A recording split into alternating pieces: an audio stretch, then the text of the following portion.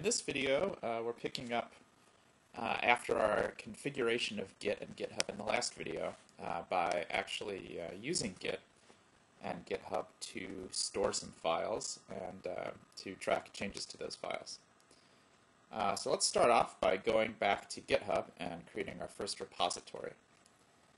I'm just going to open up the browser here and go to github.com. and uh, a repository uh, is the sort of storage location where Git uh, keeps track of the files that we're asking it to store. Um, so it keeps the files themselves. Uh, it also keeps the um, earlier versions of those files. Um, if we create some files and then make changes to them, uh, it will keep uh, track of those changes. Uh, and it also keeps track of a little bit of extra information about the history so that each time the change, that a change is made, it will keep track of uh, who made the change um, and it can show us the difference between that uh, version after that change and uh, relative to the, to the version from before.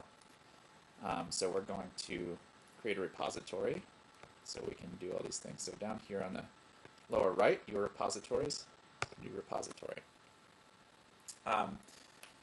Now, this repository that I'm about to create uh, will be publicly uh, visible, be effectively open source. So anyone can see it, anyone can download the code.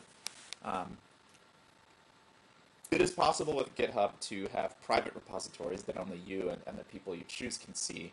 Uh, however, you, you need to pay for that feature, uh, whereas the public repositories uh, are free to create. Uh, so you can pick any project name you want here. And if you want, you could also fill in these description and URL fields. I'm going to leave those blank. Uh, when you're ready, just click Create Repository. And there we are. We have our first Git repository. This is my username here, and then the name of the repository. Um, this page that you're taken to shows some tips on uh, next things you can do with the repository. Uh, this is a good reference. Um, however, I'm going to kind of ignore it now because we'll go through these steps uh, in our own way in this video. Um, so now we have this repository here. Um, in GitHub, we're going to go back to Git, Git Bash.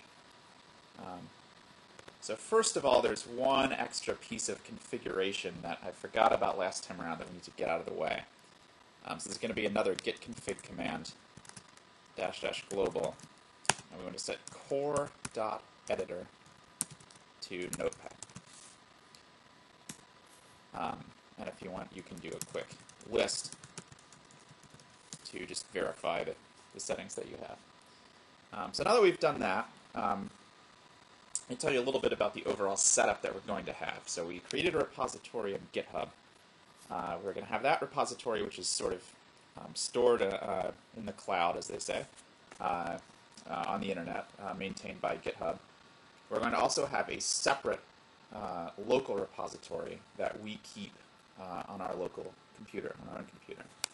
Uh, and then we can create the changes on our computer, put them into our local repository, and then we can push those changes from the local repository to GitHub.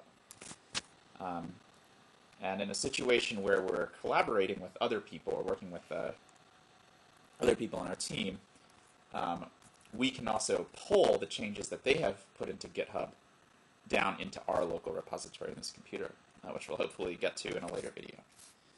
Um, so we created already the remote repository in GitHub, and now we're going to create our local repository. Um, and to do that, we first need to make a directory uh, where we want to store this repository. So I'm going to see which directory we're in just for reference, this pwd command. Okay, so I'm in the C users Scott Cedarberg directory.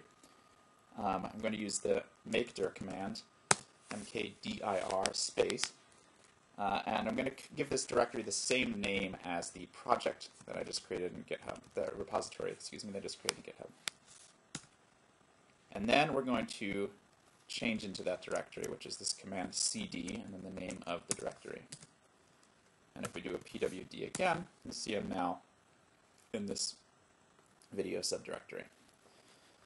Now, we need to create this repository which will be inside this video directory. We just type git space init. Hit enter, and you will just see initialized empty Git repository. So now we have the remote, we have the local, and we're going to go ahead and create a change here in this directory. So let's just do an ls, which will show us the files we have in this directory. Right now we don't have anything. Let's just create an empty file that's called readme. For that we'll use this command called touch.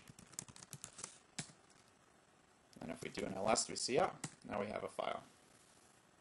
Now let's edit that file using Notepad. Do Notepad space and then readme. Enter. Should open up Notepad. We have an empty file here. Now here, let's just put, you can put whatever you want, but let's just put some text describing this project. So we're going to say um, this um, project.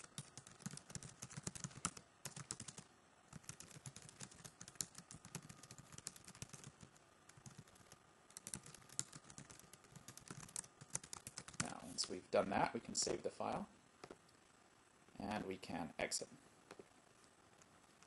Again, we can see README. We can also, if we want to see what's inside there, we can use a command called cat, which just spits it out. There it is. Now, um, we're going to ask Git. Uh, Git sort of automatically detects when we change things here in this video directory, so we're going to use a command to ask Git just sort of what it thinks is going on. That, we'll use git status and it prints out a short message here. Just sort of ignore this thing about branches. It's just sort of an advanced topic.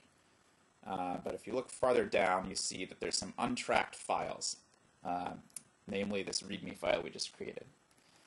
What that means is that uh, Git's found that this file is somewhere here in this video directory, but it, we haven't asked Git to keep track of it for us.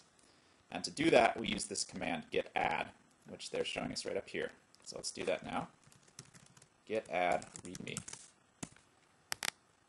Now, if we do git status again, we will see this is looking a little different. It says now changes to be committed, new file.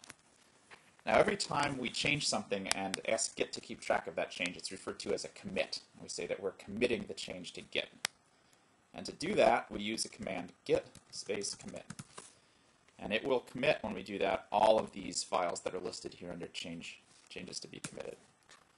So first it will open up Notepad and give us an opportunity to write a message describing what this commit is. So let's just type something here. Initial commit of readme file. let's say initial version of readme file. Um, and we'll save that. Exit it's a good idea to take the time to um, put something here that's a helpful description so that when you're looking back at what changed, you can sort of remember what happened. Now we do exit, and you'll see inf some information telling you that uh, this README file has been committed. So congratulations, that's your first git commit. Um, now if we run git status, we notice that uh, nothing to be committed remains, and if we run git log, we can see a history of the commits that we've made.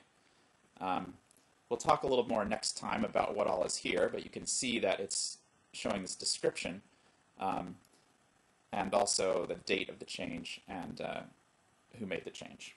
So in our next video, we'll talk a little bit more about this history, and we'll also talk about how we can take these local changes and, and push them into GitHub.